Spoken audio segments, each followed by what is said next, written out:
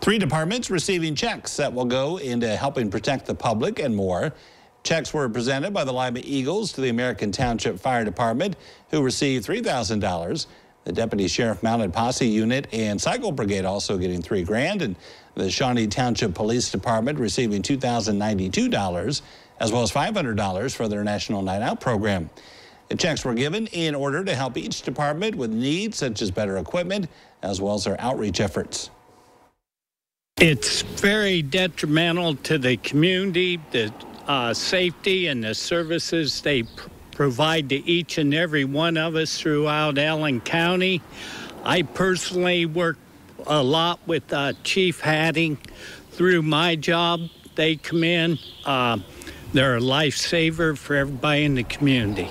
Our department, uh, we have about 30 portables and about 15 mobile radios and then two station radios. So um, it's a it's a big big hit to the budget without the help of the Eagles and you know the donations and that that we've been doing throughout the county.